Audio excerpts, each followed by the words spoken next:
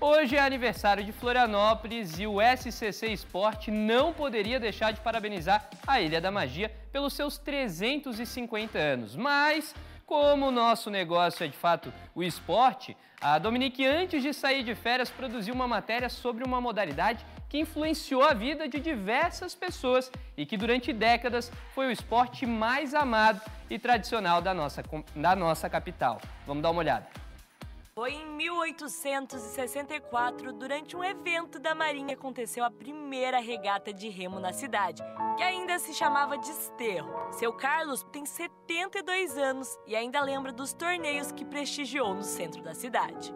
Florianópolis sempre foi assim, é... tinha público. Hoje o futebol, que se lá dá 10 mil pessoas, 20 mil pessoas, o remo dava 30, 40 mil pessoas, super lotado de gente.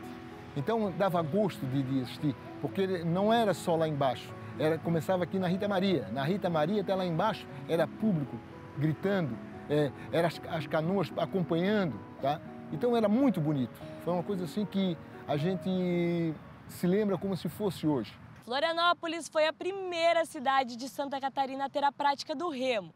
Isso porque essas baías sul e norte se localizavam no centro da cidade, o que facilitava a prática da modalidade. Mesmo sendo muito conhecido na cidade, os primeiros clubes do esporte vieram anos depois. Em 1915 foram criados dois clubes, o Riachuelo e o Francisco Martinelli. E em 1918 surgiu o Clube Florianópolis, posteriormente renomeado de Aldo Luz.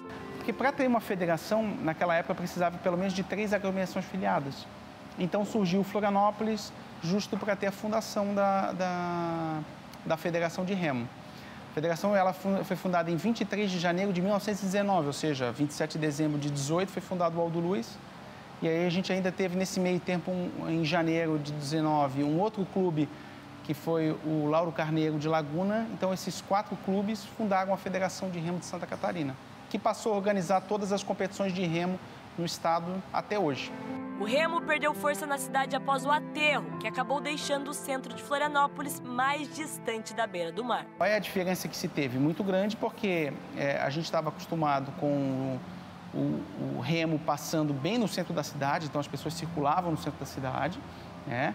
E depois elas precisariam. Primeiro, tivemos dois problemas, tanto com o público para acompanhar, ou seja, teriam que se deslocar até a água, e os clubes também deslocar os, os equipamentos, os barcos, quase um quilômetro. Mesmo com essa quebra, o esporte ainda foi passado por muitas gerações. Carlos aprendeu a remar quando criança com seu pai e fez questão de passar essa prática esportiva também para os seus filhos. A maior satisfação é poder remar com eles ainda, com a idade que eu tenho, de 72 anos, e eles com 40, 40 e poucos anos, ainda está podendo remar com eles. Isso é o maior orgulho que eu tenho. Se Deus quiser, tiver saúde, tá? É uma coisa que só paro quando disser assim, não, não posso mais botar meu barco nas costas, não posso botar meu barco para baixo, não posso remar mais, aí eu sou obrigado a parar. Aí é aquele negócio, é enferrujou, como diz, aí não tem mais jeito. Mas enquanto eu tiver com saúde, tá? E poder remar, eu estarei firme remando sempre. André é o presidente da Federação Catarinense de Remo e encontrou no esporte uma forma de recuperação após sofrer um acidente. Eu tive um erro médico no ano 2000 e até por uma espécie de, de fisioterapia, porque eu já fiquei, fiquei, fiquei muito tempo fazendo fisioterapia, é, até o meu pai me convidou, não, vamos começar, vamos voltar a remar. Então, é, calhou que naquela época o remo ele entrou no programa dos Jogos Paralímpicos. E aí, quando eu, em 2002, quando eu comecei meio que a, a, a, treinar, eu já comecei a ver um, vislumbrar um objetivo lá na frente, né? E acabei indo para os Jogos Paralímpicos em 2008 na, na China e segui uma carreira aí até quase os Jogos de, do Rio. Esse aí é o Odilon. Ele tem 94 anos de idade e ainda rema todos os dias. Ele lembra como se fosse hoje do prestígio da modalidade. A conquista minha porque teve uma época que eu viajava muito. Eu saía segunda e voltava sexta. Mas depois que eu me aposentei, aí comecei a remar todo dia, aí comecei a ganhar tudo também. Campeonato brasileiro, sul-americano e mundial. Ah, e um detalhe importante. Hoje, Odilon é considerado o competidor mais velho do mundo. E não pensa em parar tão cedo. Eu ganhei do mundo e ganhei do Brasil. Mais antigos do Brasil. Esse ano ainda vou lá na África do Sul.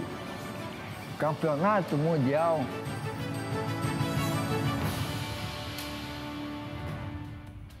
Que história, hein? Parabéns aí pro seu Odilon, então, né? E olha, para ver mais detalhes completos aí dessa matéria, basta apontar o celular, a câmera do seu celular, para o QR Code que está aqui embaixo, com internet, é claro, né? Essa matéria que foi toda produzida aí pela Isabela Piazza, foi editada pelo Samuel também.